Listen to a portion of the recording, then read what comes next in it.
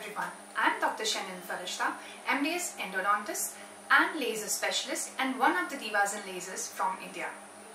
Today we'll see how to prevent post-operative sensitivity after class 5 restorations.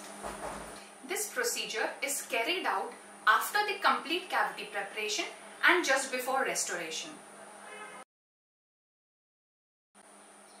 Today we will be using 650 nanometer wavelength S1 Pioon laser and for this procedure we will use photobiomodulation tip.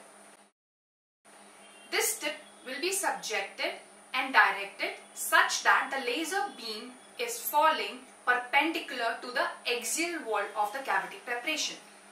What is axial wall? Axial wall is the internal wall which is parallel to the long axis of the tooth.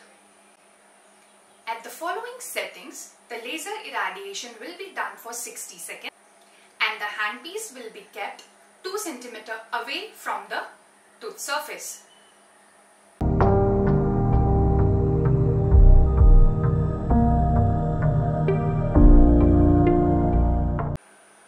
After the laser irradiation, we will proceed with the restoration immediately.